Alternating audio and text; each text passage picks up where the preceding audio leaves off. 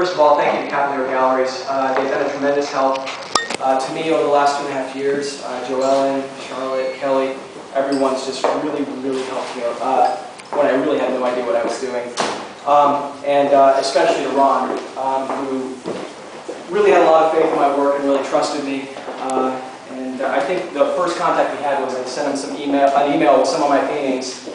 Um, and he got right back to me, and I sat in the Dunkin' Donuts, and he sort of talked me through how it was going to work, and he, he, came by my studio, and uh, he's really talked me through a lot of tough spots, and so I really thank you for that. It's been a pleasure. Thank you. Um, anyway, uh, I, I'm a little bit unprepared. I'll go ahead and admit that. My wife back there and I just had a baby two weeks ago, And he's you.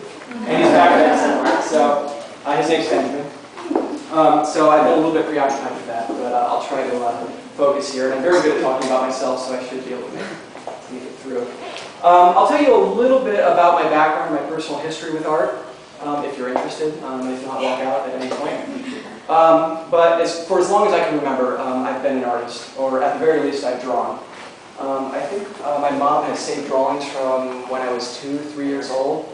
Um, and she actually endowed me with a bit of uh, overconfidence at an early age. I think I had a little bit too much of an artistic swagger when I was in elementary school. And uh, to be honest, when I look back on some of those drawings, they really, they're really not that good. Um, they're pretty incomprehensible like any other young kids. Um, but I bought into the uh, hype that my mom uh, sort of built up in my head, and uh, uh, that art actually served me well um, in elementary school on numerous occasions, and I'll, I'll share one of those with you.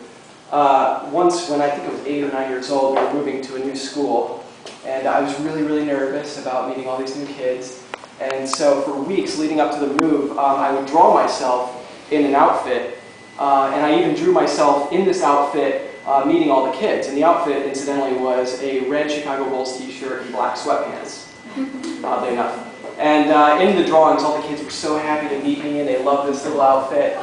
And uh, anyway, it was a bit of fantasy work, because when I got there, this didn't play out as I uh, intended. Um, my first day, I go there, and the teacher lines all the kids up on the sidewalk, and puts me in front of them and says, this is your new classmate, Scott Waddell. And there was no reaction. Nobody said anything about the outfit. Nobody seemed happy about the outfit. In fact, one kid off to my right, I have no idea who it was to this day, said, I think the new kid has fleas. It was a little devastating. And uh, it put me in a position where I had to sort of redeem myself, and I used art as a way to redeem myself. Uh, I think a week later, we were in class and we got some drawing assignment, and uh, I, I, figured I'd pull out the big guns. I'd do a really impressive drawing, and all these kids would suddenly love me, and so I did this you know, really elaborate multi-figure Crayola affair. And uh, this kid next to me, Brad Harris, I remember his name, and uh, he was sitting next to me because of alphabetical order, because uh, I had fleas and who would want to next to me.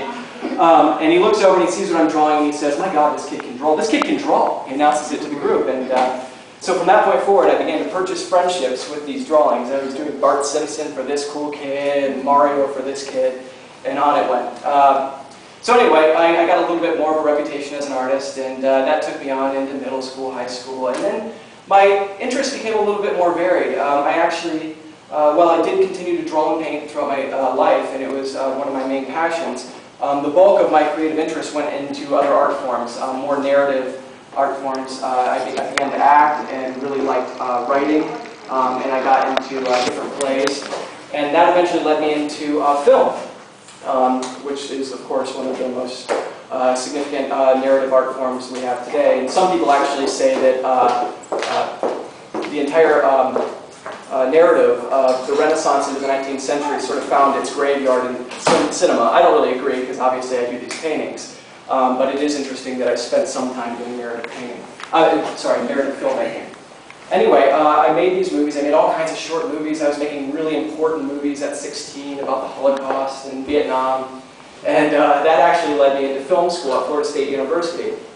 Um, but all the while, um, I, I, still kept drawing and painting on my free time. I, didn't, I, I knew I didn't want to be an artist, um, but it was just something I compulsively did. I just couldn't stop myself from doing it.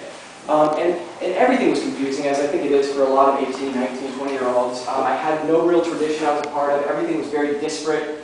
Um, I, you know, I, when I looked at the art world, um, you know, there was surrealism here, there was postmodernism here, avant-gardism. I had nothing really to grab onto, nothing I really identified with. What I identified with throughout my whole life was, you know, I really liked the classics. I loved Greek history, I love Roman history, um, and then I, I loved the Renaissance up through the 19th century. And, uh, I- but I just didn't really feel like I could participate in it. There was no uh, sort of contemporary realm where I could go and paint like those people. Um, but more and more when I was at bookstores, uh, I would start walking past American Cinematographer and other film-related magazines, and I would go towards American artists or international artists. Uh, and on one occasion, um, I picked up an American artist, I think it was, and I opened it up, and there was these beautiful paintings. They were exactly sort of what I'd always desired uh, to paint, and the type of paintings I always looked at. But there were paintings being painted now. Uh, and, you know, it was just a very sort of pivotal, pivotal mo- moment for me. Um, and I had no idea who the artist was, but coincidentally, later in that week, um, I became aware of a portrait artist living in Tallahassee um, uh, from another student at FSU. And so I looked the artist up in the phone book. Called him up, and uh, he invited me over to his studio. And it turned out to be something pretty important. It was uh, Ed Jonas. He's the vice chairman of the Portrait Society of America. And uh, he was very, very nice. And he actually introduced me to a gentleman named Douglas Flint, who actually I think has had some paintings here. And Doug was one of the biggest and remains to be one of the biggest influences on me. Uh, he had just completed his studies at Water Street Atelier with Jacob Collins. And uh, he uh, began to introduce me to all the concepts that I would eventually employ. And before I left Ed Jonas that day, he actually gave me a little flyer or a catalog um, from a show that was going on somewhere in New York at the time. And uh, in the catalog, there were some paintings, and they were the same paintings from that American artist uh, article I had seen a week before, and it was Jacob Collins. Uh, and so uh, from that point forward, I, I became very motivated, and I had some kind of direction. I saw that people now today were painting paintings um, that I could appreciate, and it was a tradition I wanted to be a part of.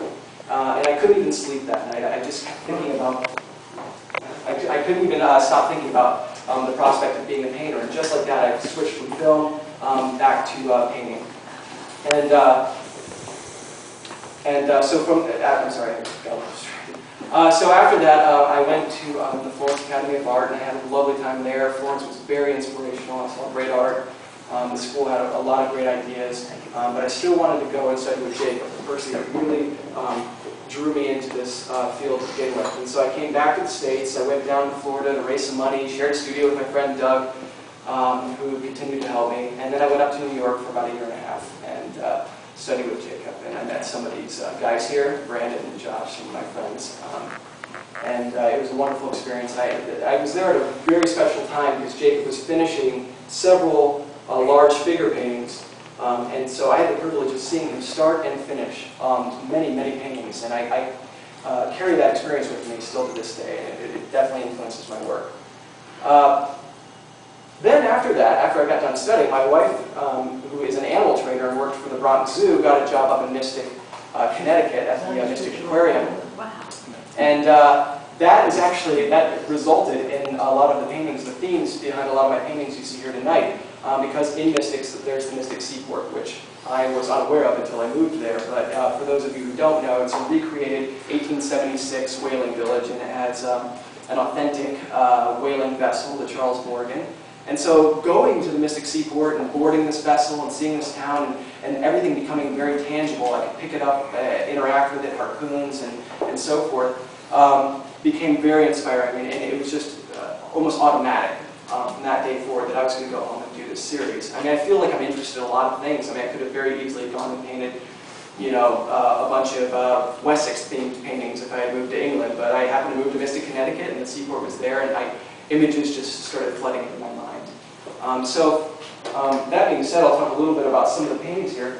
Um, I have this binder, which I'm going to set somewhere, and feel free to thumb through it. It's basically just um, a lot of the preliminary sketches and ideas that I do um, in advance of some of the paintings. And I'll actually start with this guy here, because it's, uh, I think, the earliest of the entire group. I can't exactly remember when I painted it, but the title's Leviathan. Um, I think that I named it Leviathan because uh, Herman Melville refers to the whale as Leviathan.